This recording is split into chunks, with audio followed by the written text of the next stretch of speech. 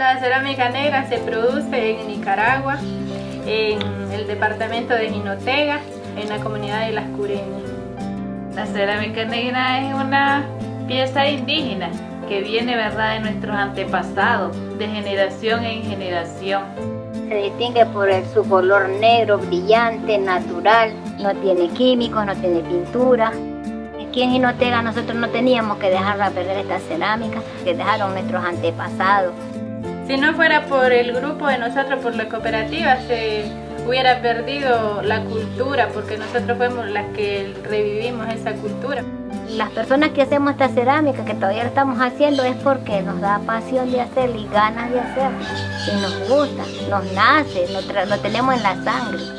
Nosotros la valoramos, ¿verdad?, como una pieza de oro, algo valioso, que de aquí, de esta cuna, nos sostenemos. sí.